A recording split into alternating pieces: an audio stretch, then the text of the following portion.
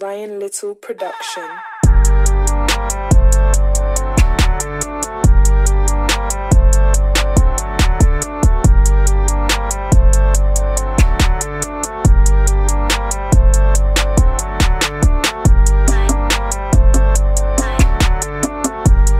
Alright guys, welcome back to another episode. We're out here today getting our cars detailed by the amazing Josh from Final Stage Detailing. He is the homie, I've known him for years, but uh, we're out here getting cars detailed. Hopefully we'll learn something, and hopefully you guys will learn something. All right, so we have my car up now. Um, Josh, how long you been doing this, man? It's going on three years professionally. Three years professionally. Yes, what made sir. you want to start? Uh, actually, my uh, car club kind of got me into it. I started off detailing just within my own car club. Uh, started doing a couple affiliate car clubs, and then kind of snowballed into into what I do every day and working on cool cars. So something I definitely enjoyed It's from the beginning, and something I have a real passion for. So Yeah, yeah. that's cool. Products do you like to use? Um, I definitely like to use a mixture. It's not one product that I like. It's uh, a few different ones. Uh, mostly yeah, chemical guys, Opti, No Rinse, Evershine, just a few of the major ones I really like. Honestly, this right here is what I suggest everyone use to wash their car. Uh, highly, highly suggest it. It's very simple, easy to use. The reason why I like it a lot is because it's actually, uh, you can use it for a car soap, but you can also use it as a quick detailer too, or even a spray wax. So it's just the way you cut it. So if you add a little bit more product into it, you have a full spray wax and make it nice and shiny. Or even if you just need to wash your car, it's perfect for that too. I like to use a lot of products that are really versatile, so you don't have to buy a lot of products. Definitely my little pro tip for you guys. Pro tip, Yeah. right there. The main reason we're out here is we're getting our cars detailed. Um, Josh is the only person we really trust to get it done, and so far it's sick. Like it's so shiny, like my camera can't even focus on this.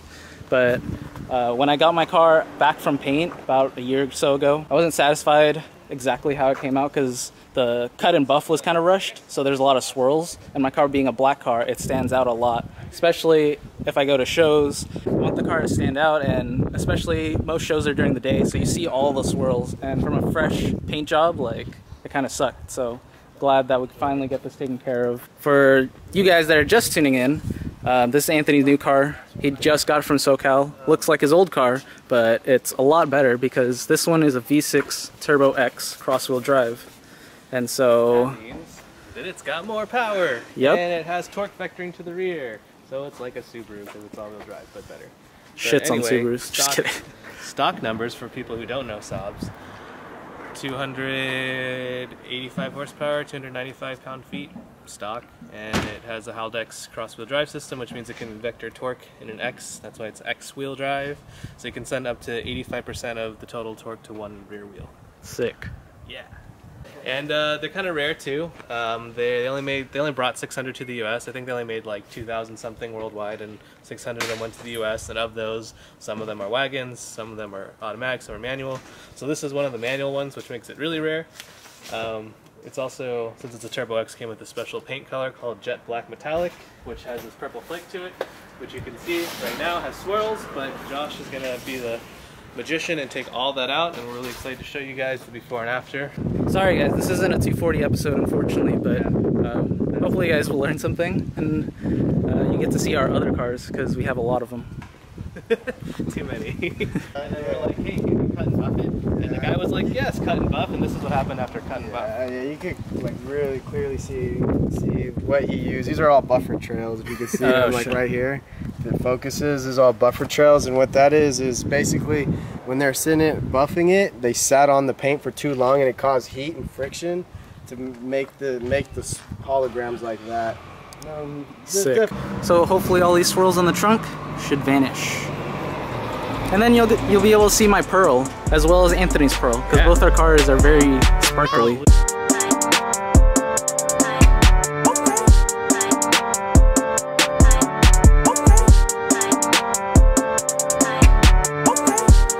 All right, Josh. So I know that we moved the car into the garage, but you can basically do this kind of thing anywhere, right? Oh yeah, yeah. We're a completely mobile service, so it kind of basically come to you wherever you're needed from your house, home, office. We are able, as long as we have a working space around the vehicle, we can definitely take care of it. Usually, either working out in a garage or under a nice canopy, so definitely have a little bit of shade. we have here? What are the tools? What are the products? What do you got going on? Yeah, what we have here today, we're doing actually a pretty major paint correction. So we got Wolfgang compound, and we got a PNS pad paired with the Flex 3401, which is my weapon of choice. and we're doing, yeah, just doing a nice paint correction. You can see right here starting to clear up, got a little bit of major scratches, but it's going to be clearing up all the swirls and the small imperfections in the paint.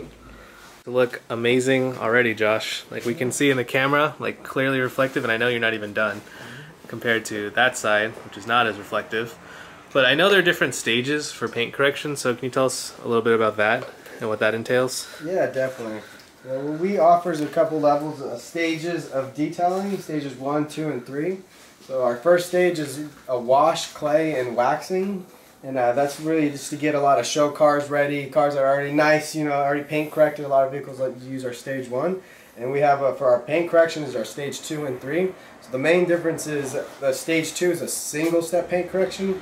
Um, what we're basically using is a, a polisher going around the entire vehicle, buffing it out one time, and then putting a sealant or a wax on top. And then we have our full stage three paint correction, which is roughly a two to three step paint correction. It's basically where we use instead of one pad and one product, we're using two to three different products and pads, and that's really to get out any again swirls, imperfections, scratches, oxidization, anything that's built up on the paint. It really gets taken care of with a, a paint correction. And how long does like a stage three take? Yeah, for you? generally, generally our like a- stages, yeah, to like get a, regular full- size car, Yeah, like normal car generally is about a six to eight hour job, depending on the Dang. vehicle and the color. If it's a black vehicle, it'll definitely take a little bit longer. But generally, again, our, our stage three paint corrections are six to eight hours. And then we also have our full ceramic coatings, and that, that's a full paint correction with two layers of ceramic coating on top. And that's roughly about, generally, again, a nine to about 14 hour job from start to finish. Wow. So, yeah, Are your are your cars currently ceramic coated? Yes. Maybe we could see what it looks like later because I know it's crazy when you roll the like the water off Yeah, a ceramic of- coated car. yeah, yeah, yeah. How long does ceramic coat last for? Um, it depends on what stage you're doing. We offer two different uh, stages for ceramic coating: our two-year protective layer, and then our four. Wow. And again, uh, yeah, yeah. So it's definitely a nice, nice That is- protective that is a coating, long time. coating on there. And what we've been, what we use a lot right now is our Ceramic Pro ceramic coating. So it's a 9H hardness, so it definitely gets you the protection, the the shine. I really like it because it makes the cleanup a lot easier. That's the the biggest, especially for car people like us. I say we're always sitting there, quick detailing, wiping our cars down. It makes that process so much quicker, easier, faster. So that's a big, big point for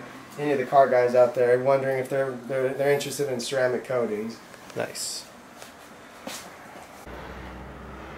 So if you can see that, guys, if you focus on the sunlight, can see how Josh has taken out pretty much most of the swirls with just this single stage paint correction. But then you come past this line and just all the swirls that circle around the sun. You can really see it if you stand here.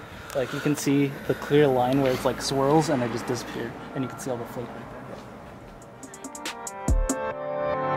there. So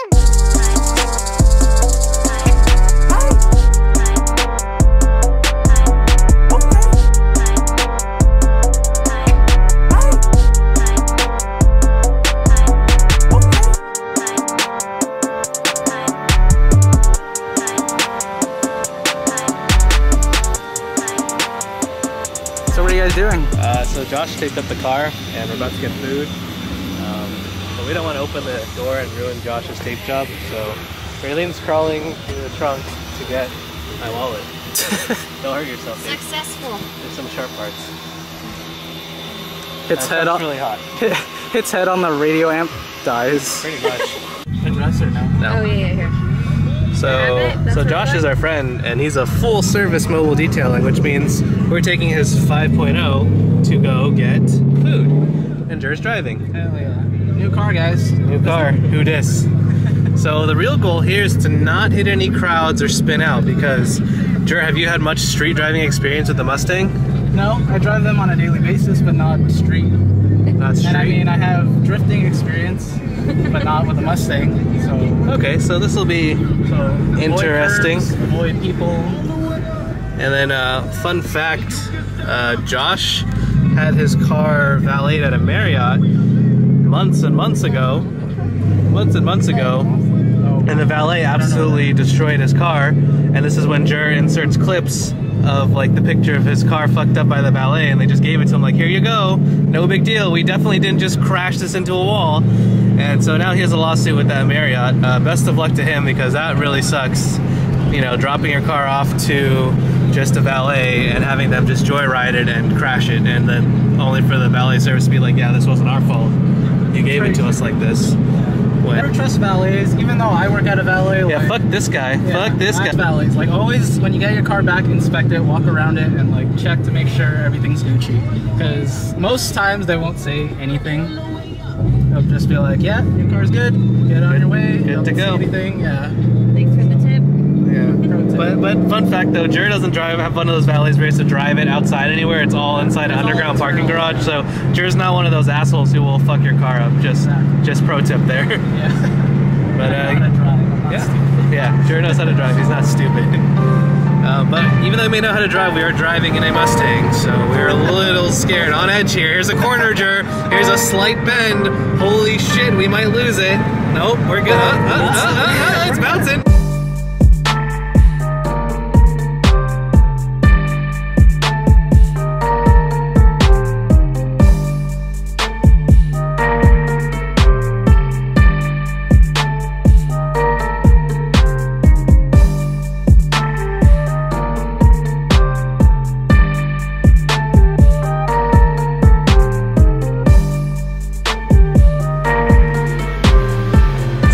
You doing here?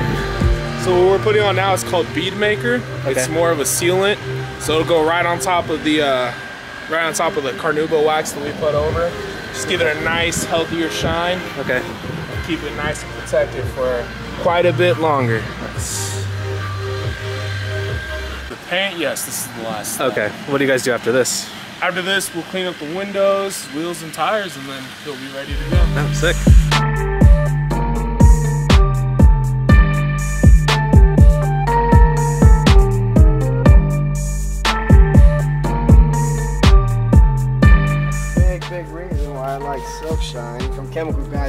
Because it works very well on tires, kind of any black hard plastic, so you could even use it on the trim. Ah, on there's the Josh with that versatile. Exactly, on the Products. exterior, and then even you could use Silk Shine on the dash, the center console, anything on the inside as well too.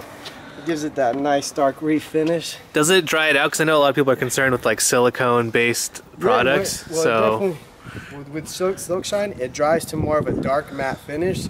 So right now it's a little bit shiny, but it definitely gives it that dark, rich finish to it. does it does it like dry out the plastics though? Because Oh, I know no, that's no, a lot of people's concern. Yeah, yeah, no, it actually rehydrates the plastics, and that's part of the reason why it gives it that dark black finish. Okay. Cool.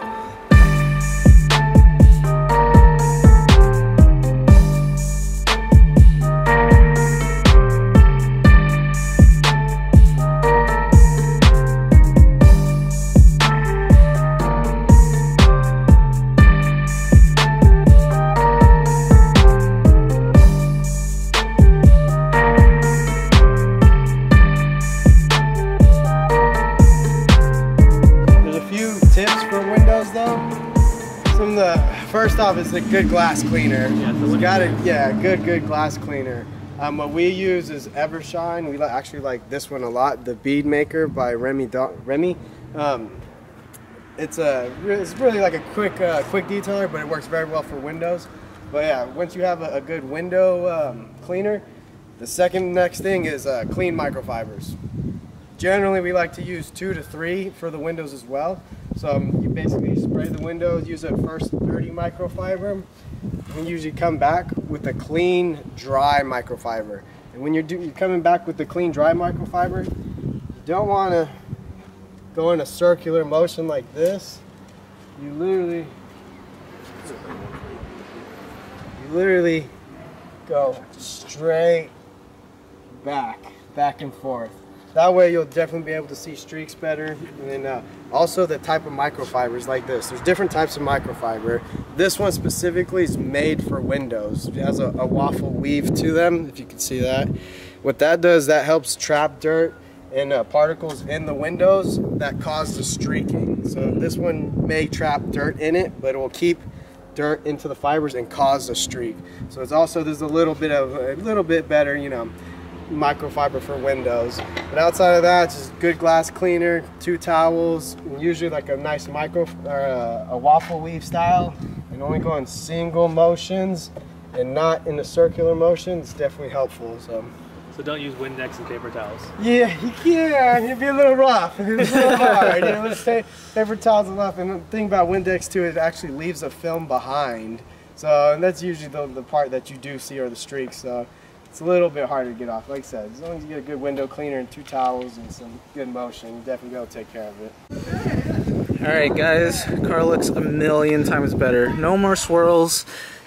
Once the sun comes out, you'll be able to see all the flake, and I'm so excited. Look at that though. Just like looking in the reflection of the car, like you can see Josh's house. like that's insane. Like the car never used to be like that, and it's so clear. Um, and it's baby soft. It's amazing. I love it. But uh, yeah, that's gonna be a wrap for today.